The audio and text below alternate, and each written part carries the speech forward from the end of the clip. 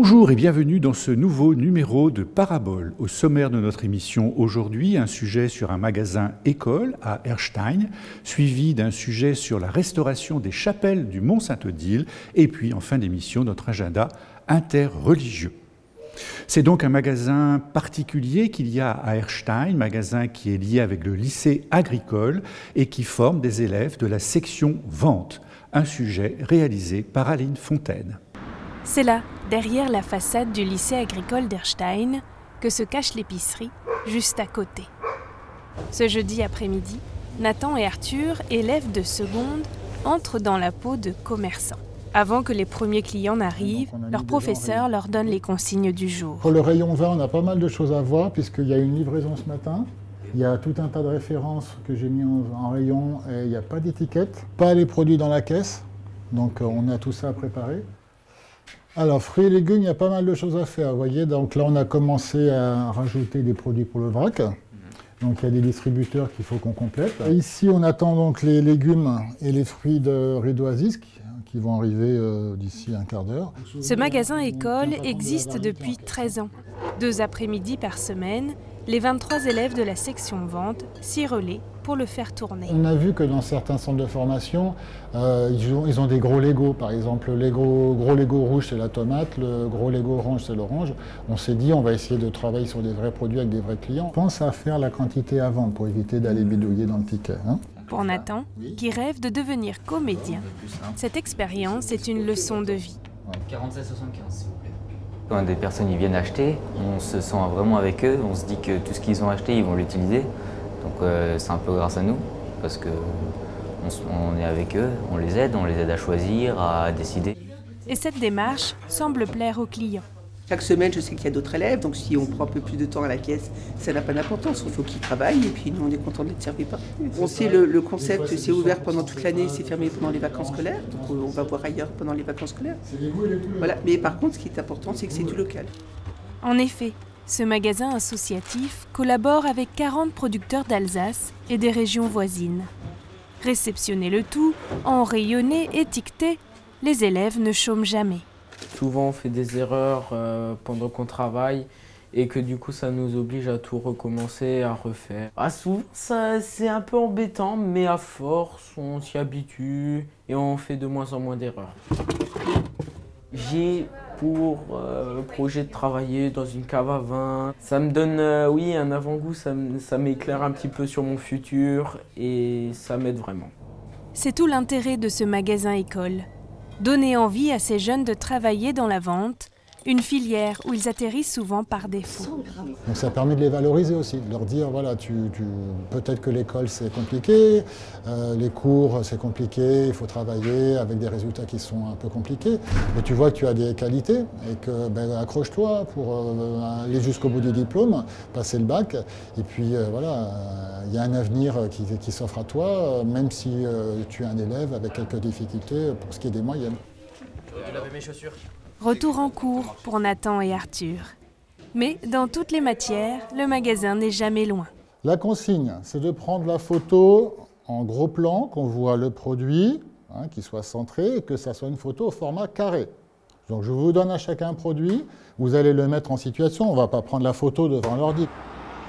C'est parti pour 15 minutes de créativité, des plus audacieuses. Ah, mais sur les plantes comme ça Ouais, je crois que c'est bien là. Hein.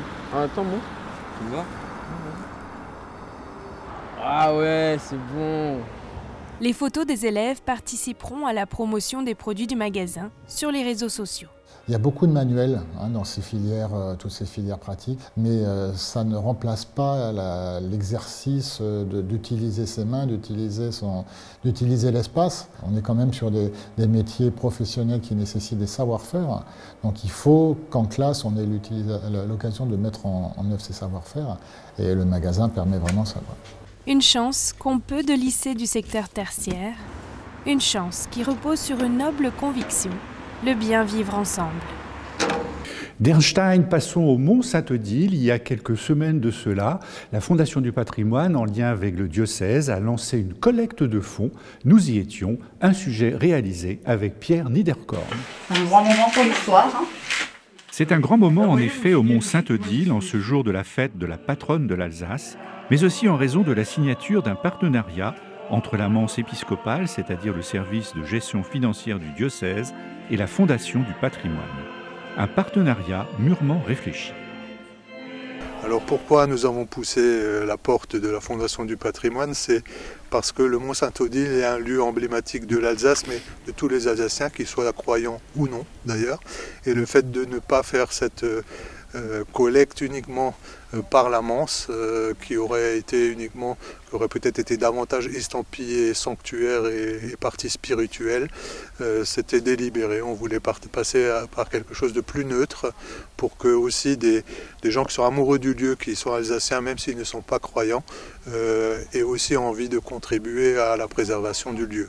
Pour nous, c'était une évidence de les suivre sur ce projet tous les délégués de la Fondation du patrimoine euh, ont tout de suite été d'accord pour euh, poursuivre le projet.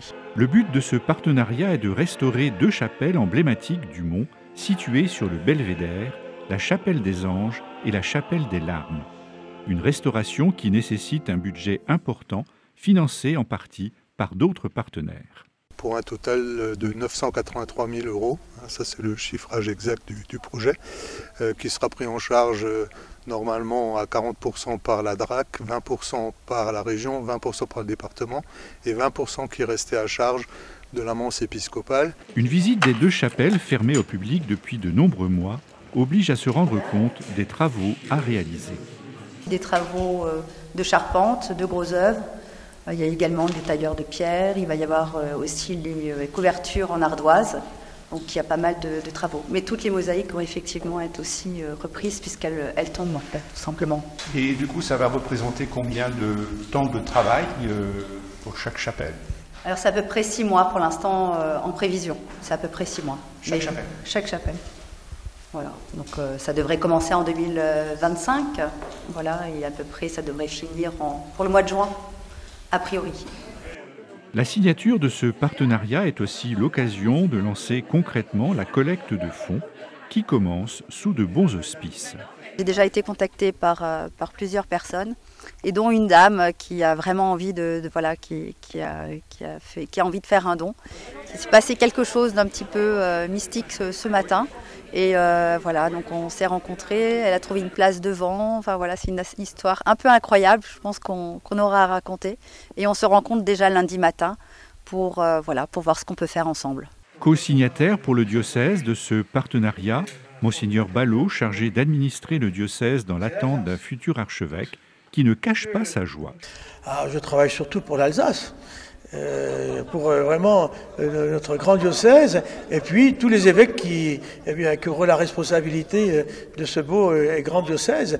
Et en premier, ben oui, l'évêque qui sera nommé dans quelques temps pour Strasbourg, l'Alsace. Loin des rumeurs qui voulaient faire croire que le mont Saint-Odile était à vendre, cette journée marque un tournant dans l'histoire du mont on peut presque dire que c'est un redémarrage, en effet, puisque nous, on, travaillait sur la réfection des chapelles déjà avant qu'on ait des problèmes et qu'on soit obligé de les fermer. Malheureusement, tout avait été un peu bloqué à cause de problèmes financiers, euh, essentiellement. Et là, autant Monseigneur Ballot que Xavier Steiner, le nouvel économe diocésain, euh, on dit non, c'est par là qu'il faut commencer. Quoi. Il faut, il faut qu'on préserve le patrimoine pour qu'on puisse continuer à accueillir des pèlerins et des, touristes évidemment aussi, enfin tous ceux qui viennent. Plus que jamais, le mont Saint-Odile investit pour l'avenir au service de l'accueil de tous les amoureux de ce haut lieu d'Alsace.